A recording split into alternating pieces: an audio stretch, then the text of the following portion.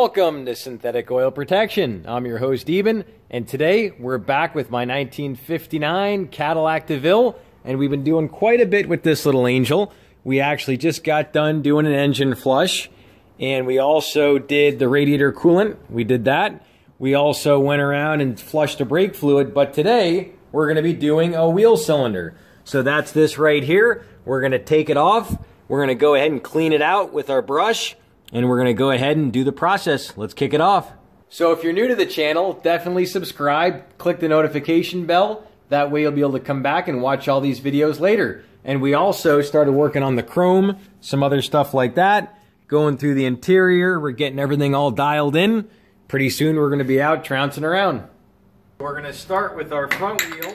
And this wheel hub is uh, has a little bit of wear. Take a look how much wear is on this and you can see it got a lot of heat at one time. We actually re-greased it. It runs super smooth, and there's a little bit of grooving, but we decided we're going to use it anyways. So we're going to go ahead and keep this. This is the original piece from 1959. And now what we're going to do is we're going to come with our MP metal protector. This is a like a PB Blaster. It's a penetrating oil, protects rusted metal, uh, it's really good for uh, loosening fasteners, all kinds of metals, locks. So we're going to come here and we're going to hit all our major components. We're going to be taking off all our springs, everything like that. And this modulates really easy. It's super easy to use. And uh, after we hit that, we're going to come in the back side. I'll show you that now. Go ahead and hit our bolt here in the back. That's where our wheel drum is, our wheel cylinder. Hit that, and that's it. Good to go. Done. Our brake tool. We're to go ahead and uh, this is my first time ever doing my first set of drum pads and redoing a uh, cylinder. So well, here we go. So I think we come straight on here and we spin this little bad boy. It should pull that spring off. And like that. And hop, hop, hop, hop. There she is. There's the nook. Stickler. So that's it. Come here. And there she blows. A little bit of a stickler. And there she blows. It's my first time taking off some springs on a caliper. Set that down. Come here. Pop that. The spring falls. The spring falls this here you push in and you spin it until it comes off like that. It's halfway. Nope. Gotta push it in. Spin it. Nope. We'll have to figure that out.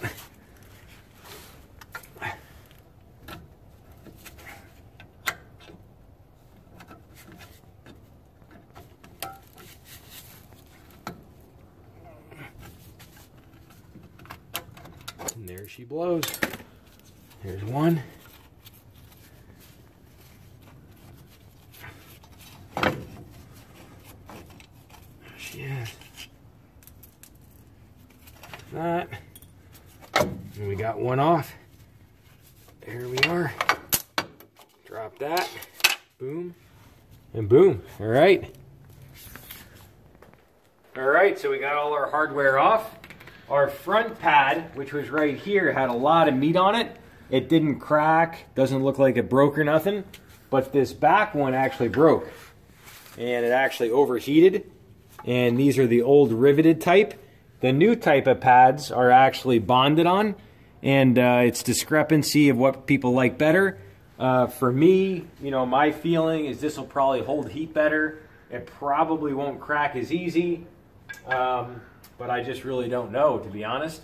But it'll be neat to see what it feels like, and it'll be neat to have even braking because there's a little bit of pulling since the pads are messed up, and I'm assuming all the fluid has been overheated inside here because this broke, and there's some scarring in there inside that actual drum. There's actually a little bit of ridges. So because of that overheating, uh, especially on an old system with old uh, brake fluid, which isn't synthetic like what we're going to put in, which we already have it in there. Uh, so I'm sure it's going to be a whole lot better. So let's go ahead and get this wheel cylinder off. Got the impact wrench in here. It's a 9 16 Let's go ahead and take off that wheel cylinder. Here we go.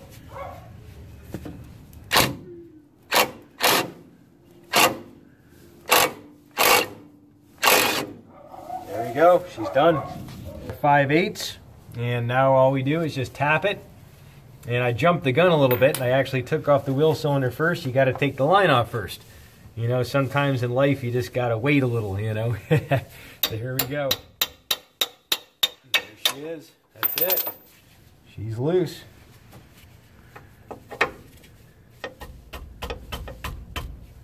I thought she was.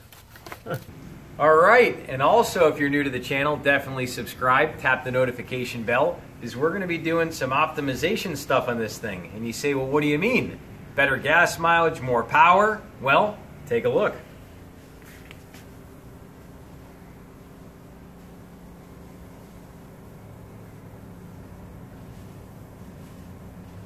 All right, that's a little hint of what's to come.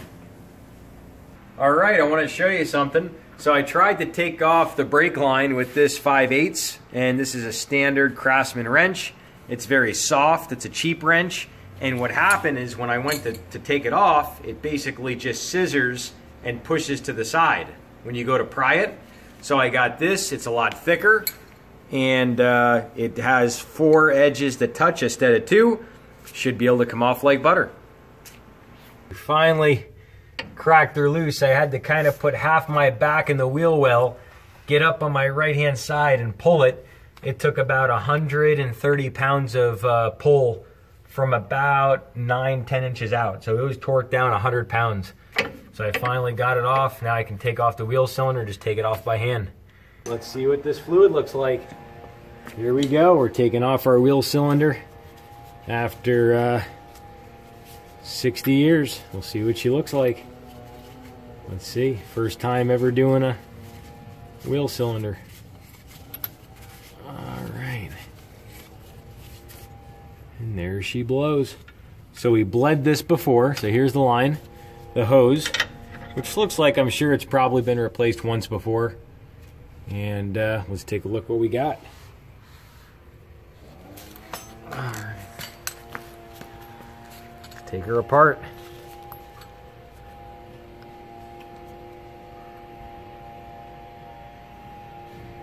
All kinds of rust, lots of flakage, lots of greasy rust all up in the rubbers.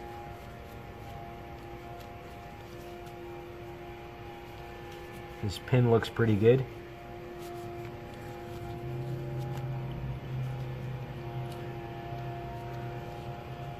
That looks a little funky. Take off this rubber. There's that. Definitely going to need some cleaning up. Take off this one.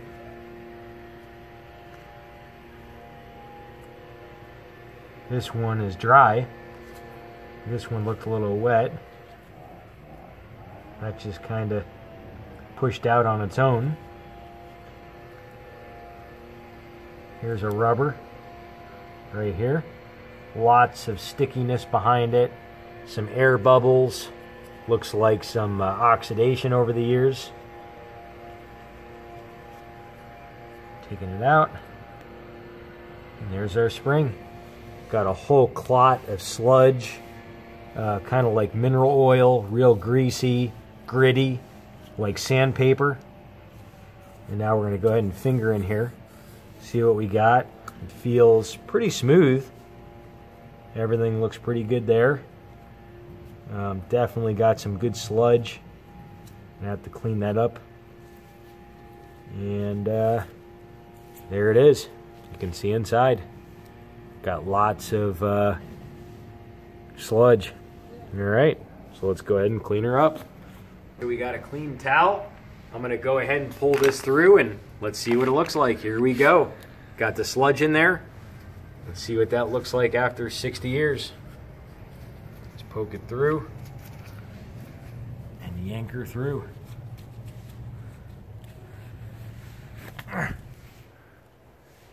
There we are. Got a little bit of stuff in there. We're gonna have to hone that. You can see that pitting. All right, let's do it. It's that time to start spraying everything. We got our parts cleaner. This is all the hardware on this set of brakes. We got both springs. We got the two little teeny springs we got the spring inside the uh, the wheel cylinder. We got, uh, this is our adjustment at the bottom. And we'll start there. Here we go. Let's do it.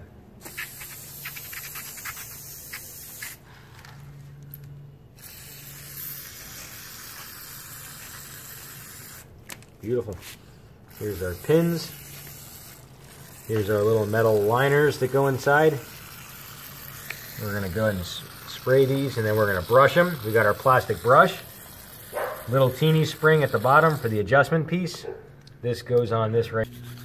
See what we got. This is a plastic brush so it won't scratch the metal. Just try to get any of that carbon out of there. All right, come on in, take a look. We got our honer tool. This is like a little stone that actually uh, go ahead and sands the inside. And here is the inside. You'll see in there, you'll see that little bit of corrosion in there. And uh, it's got like a little bit of extra rise to it. So we're gonna go ahead and wet up our uh, tool here. Get her all lubed up. Dump a little brake fluid in here. Just like so. Go ahead and wet her up. She's all nice and wet. And that's it, here we go. Take it and stick her in. Just run her nice and slow.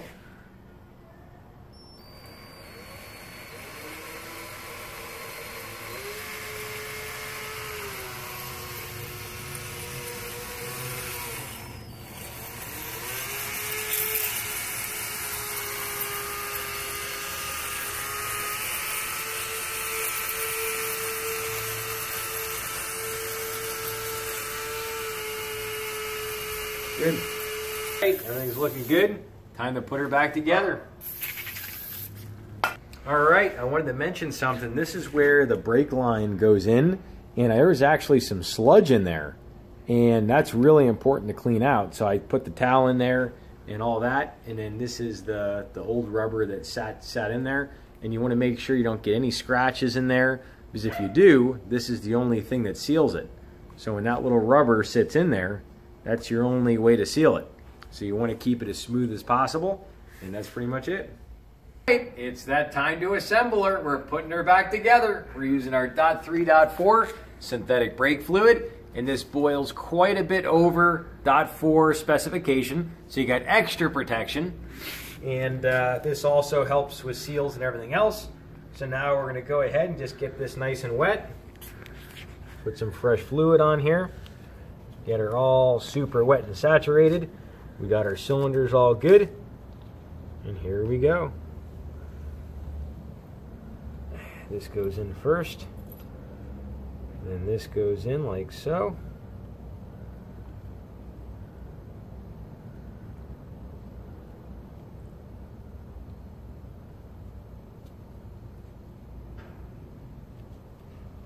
Nice and tight. There. Slide in like butter. Put a little brake fluid in.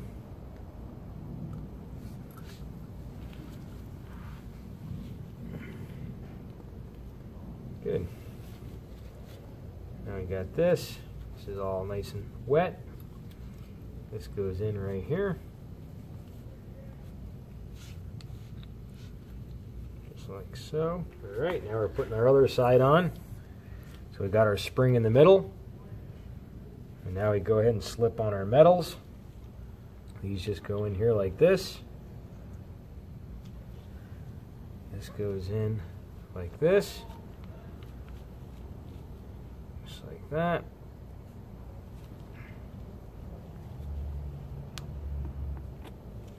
There we are. Beautiful. And now we uh, come with our outside caps.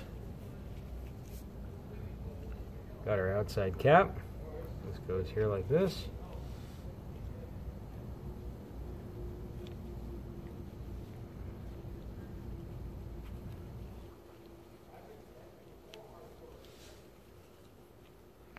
Our rubbers on, and boy, are they tight. Some good, firm, tight rubbers. Now it's time for our second one. I'm going to show you how tight these things are. The imagination.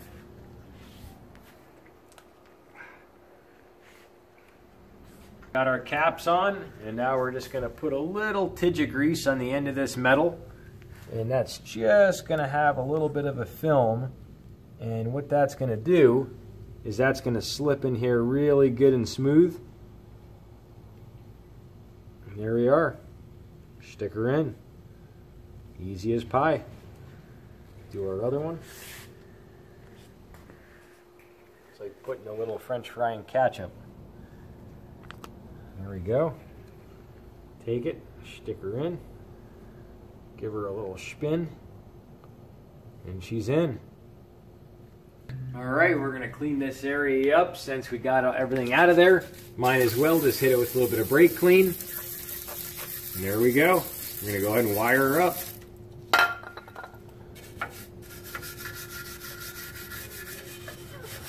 That's good. All clean. And uh, we got a lot of the old brake material off. Now we're going to use the MP metal protector. This helps stop rust, keeps metal protected. And we're just going to go ahead and just pepper it. We'll take off the straw and just hit the whole thing. And boom, it is protected. All right, we got her all put together. We're going to start greasing our shaft in a second. But uh, we actually had to uh, loosen up the bleeder screw to allow uh, to release the pressure to go ahead and push these together. And so we're going to go ahead and tighten that up. We're going to grease the shaft up.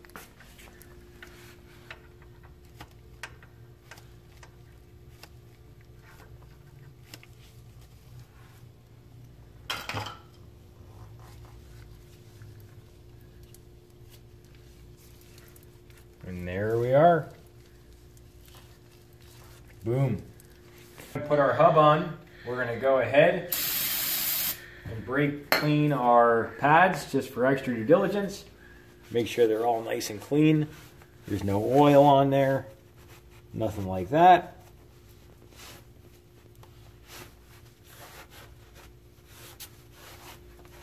There's any residuals. That's it. Let's do it. Here we go. So a couple hours later of playing with this little angel, we got it all dialed in. Take a listen. We got it just barely touching. It's just barely touching. And there's this little screwdriver. You take a screwdriver and you adjust it right here underneath and you push the dial to get it exactly adjusted. And uh, we bled the brake line. Now we're going to throw on our wheel and go driver. And we're also going to be doing this next. This is our Raybestos master brake cylinder. And we're actually going to redo it because there's a little bit of uh, corrosion inside. And instead of fighting with that and um, sandblasting it and all that, we said we'll just get another one. I think this costs like 60 bucks, so no big deal. It comes with the whole, uh, all the hardware and everything. Put all your rubbers, your springs in. And there it is, all fresh and honed. And uh, that's inside.